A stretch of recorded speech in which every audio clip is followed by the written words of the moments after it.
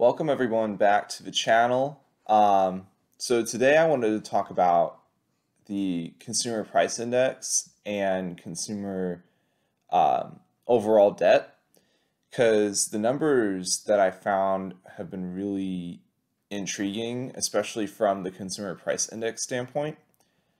So the CPI has, if, if you go online and you look up CPI historical values, and you look at you know typical dates between let's say you're looking at the month of March for multiple years, right? And you're looking at let's say 2003, 2002, 2001 and the change between the two years is generally anywhere from like 1 to 7 points. It's never a double digit increase. Um, and same with the the increase by month on a monthly basis, it's never generally a double digit increase. And it's it's still generally not a double digit increase, but if you look at the if you look between 2020, 2021 and 2022, we've seen some of the highest increases in CPI year over year. It's insane. And yeah, percentage wise, maybe there's not it's not an insanely high number. It's not 20%. Um, but then, but the increase in in the values is is much higher than we've seen before. So I was looking at, I think it was um, April of of 2021, 2022, and the change was from, I think 292 is is the consumer price index for oh, excuse me, it was for May. And last May it was 269, which means there was an increase of in in 23 points, which is insane. Generally, it's only between one and seven, and so you're. This is the real inflation that we're seeing. Is it being properly represented numerically?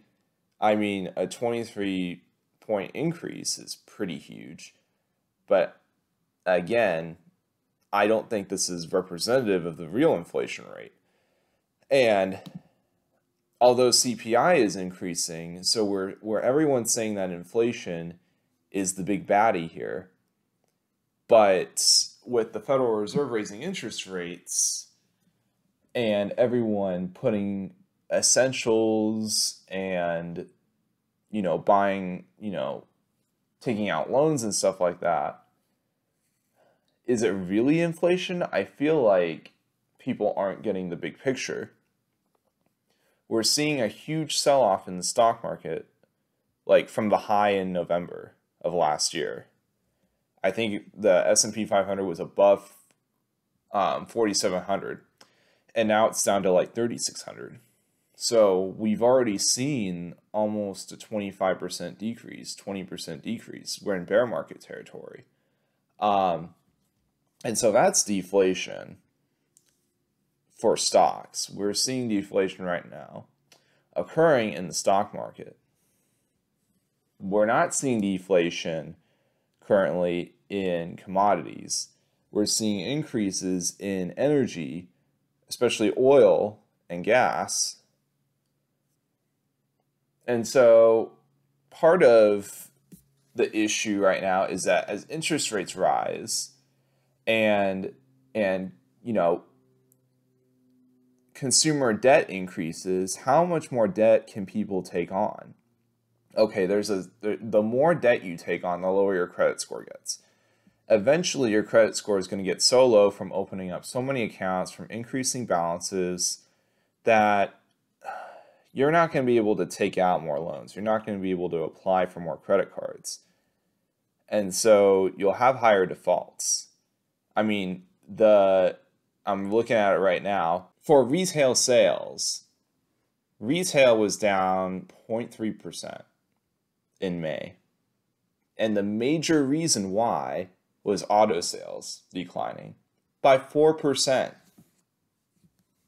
So auto sales are declining. Why? Because who wants to pay the higher interest rates for an auto loan? And apparently no one can get a car right now. So auto all these new car prices are are through the roof because the dealerships want to make a buck before the next recession. So, if people can't finance at the growth rate that's needed to keep the economy going, sales will slip.